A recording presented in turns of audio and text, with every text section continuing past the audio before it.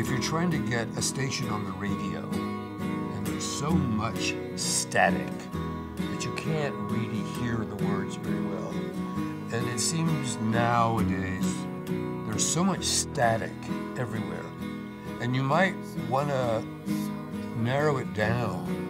So I was sort of figuring that perhaps that's what he was doing. He was trying to narrow things down to the basics, to the essentials, to really feel something. Oh, there you go. There you go. Okay, great.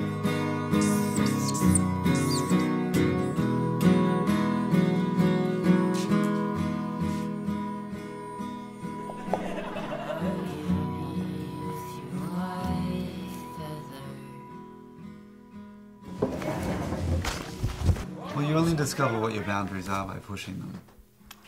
And then once you push them, you see, you know, is that boundary legitimate or not? You know, if I cross it, what will happen?